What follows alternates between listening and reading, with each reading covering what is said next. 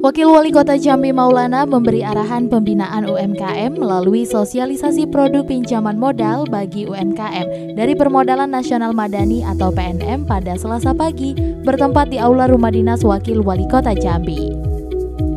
Dalam kesempatan tersebut, Maulana menuturkan di mana dirinya yang juga merupakan Ketua Tim Koordinasi Kemiskinan di Kota Jambi menginginkan pasca pandemi COVID-19 perekonomian di Kota Jambi dapat kembali bangkit melalui UMKM khususnya untuk pelaku UMKM yang merupakan perempuan.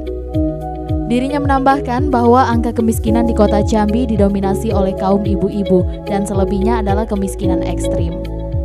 Yang mana hal ini disebabkan oleh berbagai faktor, misalnya kepala keluarga yang telah meninggal dunia sehingga tidak memiliki pencari nafkah dalam keluarga, lingkungan yang buruk dan pendidikan yang rendah serta lain sebagainya.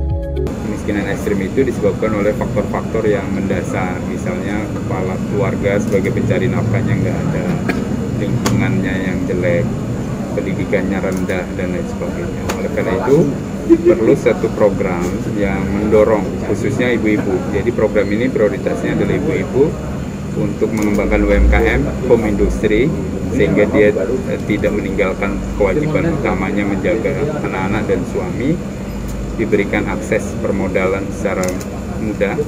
Tapi ini tidak hanya modal saja, tapi setiap minggu ada pertemuan silaturahmi yang sifatnya memberikan pendampingan. Jadi usahanya itu sampai betul-betul bisa jalan. Kalau izinnya bermasalah dibantu ngurus izinnya, pemasarannya belum baik dicarikan marketingnya, eh, bekerja sama dengan digitalisasi UMKM-nya seperti itu. Jadi memang kita membutuhkan sebuah program yang eh, komprehensif.